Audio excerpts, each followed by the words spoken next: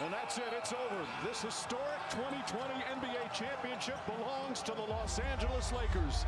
The Lakers conquer the bubble, and banner number 17 will soon hang in the rafters. The Thunder have agreed to trade Dennis Schroeder to the Lakers. Montrezl Harrell agrees to a two-year deal with the Lakers. Well, Give me the Lakers. Over the field. Give me the Lakers over the field. Davis gets fouled by Jokic. He tweaked his ankle too. Yeah, he's going straight to the locker room, so that is not a good sign. LeBron with his right ankle, and he's hurt. The Lakers, who started the season as the title favorites at Caesars William Hill, now have dropped into seventh place. LA getting center Andre Drummond on the buyout market. Lakers win as the gang gets back together. LeBron and Dennis return along with AD. They're now on a four-game win streak. Road to uh, back-to-back starts in about a week, so let's get going.